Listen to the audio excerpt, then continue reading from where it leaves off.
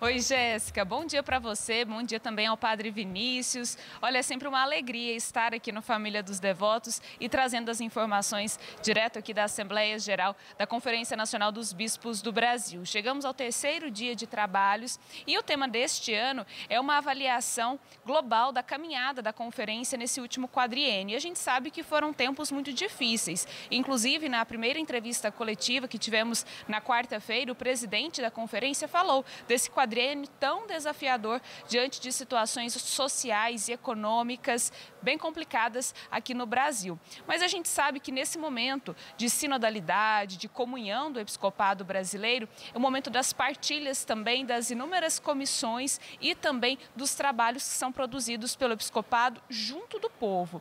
E agora a gente vai falar com um missionário redentorista também, nosso querido Dom Vicente Ferreira, ele que é bispo de Livramento de Nossa Senhora lá na Bahia, tomou posse posse na, no domingo agora, né, Dom Vicente? Bom dia.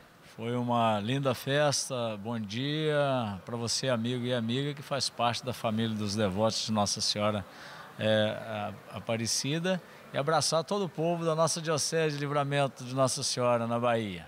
Dom Vicente, o senhor faz parte da Comissão Especial de Ecologia Integral e Mineração e a gente sabe dos desafios dos últimos quatro anos, sobretudo né, desse quadriênio da conferência, mas no último, na última semana de março, o senhor esteve justamente lá em Genebra, na ONU, para falar sobre a situação dos impactos da mineração no país.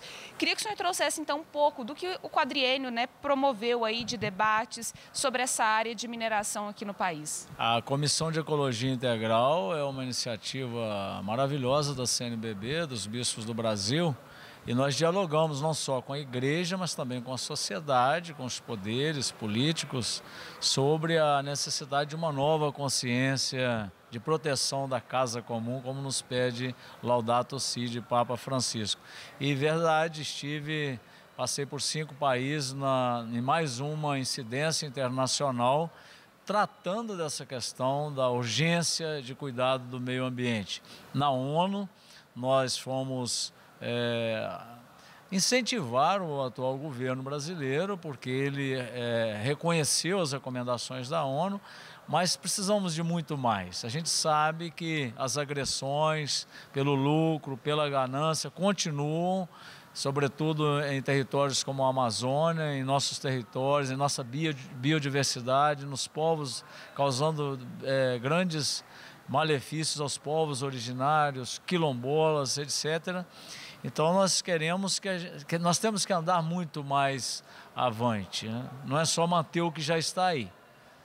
Chegou alguns dias atrás lá em Livramento, tomou posse no domingo, mas já deu para perceber quais são esses impactos, porque é uma região também muito rica, né, em termos de fauna, flora. queria que o senhor me falasse sobre isso também. Estamos iniciando, eu sempre quando chego num lugar eu quero conhecer um pouco a vida do povo e, e uma análise socioambiental sempre também considero e escuto várias pessoas e várias comunidades. Eu não poderia dizer assim quais seriam os grandes impactos, mas sei que é uma região linda, maravilhosa, é considerada a caixa d'água da Bahia, imagina.